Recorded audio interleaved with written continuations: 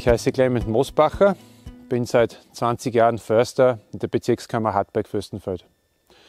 Meine Hauptaufgabe ist die Beratung über sämtliche forstliche Maßnahmen, beginnend bei der Aufforstung, Dickungspflege, Erstdurchforstung, Auflichtung älterer Bestände, zum Beispiel zur Forcierung der Naturverjüngung.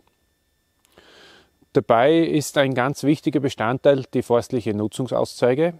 So circa 10.000 bis 15.000 Festmeter jährlich zeige ich aus und informiere dabei auch über die optimale Ausformung und die Vermarktung.